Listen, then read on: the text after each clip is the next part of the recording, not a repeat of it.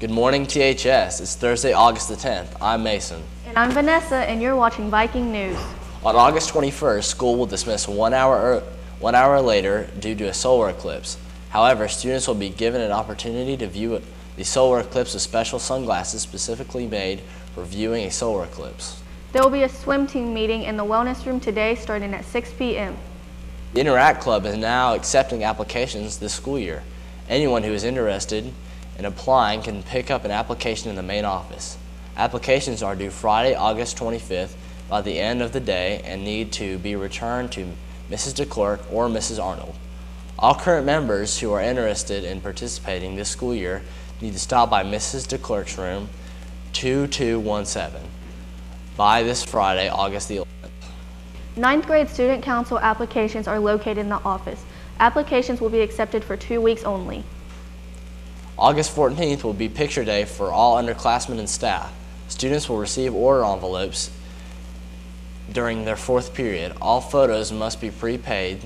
Students must pay the photographer on picture day or photos may be ordered online at mylifetouch.com with the code located on the THS website. Extra order forms will be available at the front office. FCA will begin meeting weekly this Friday. They will meet in the auditorium from 2:45 to 3:15.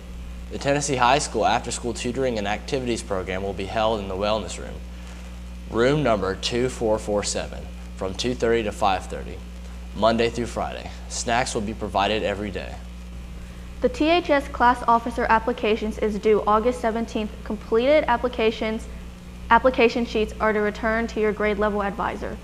Now here's Abby and Maddie with your weather forecast. Good morning.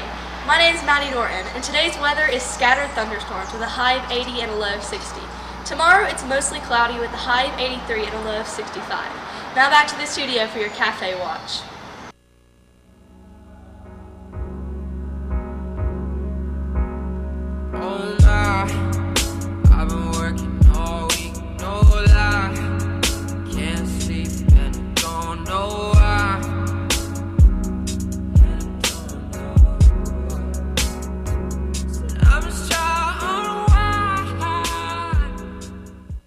In sport news, the Miami Dolphins signed 34-year-old quarterback Jay Cutler out of retirement to a one-year, $10 million deal.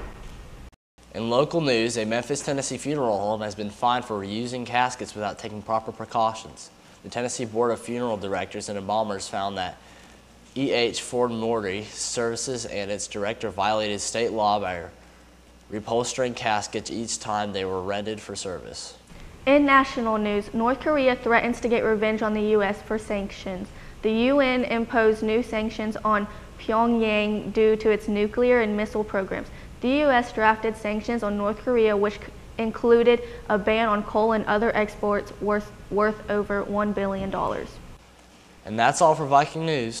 Have a terrific Thursday.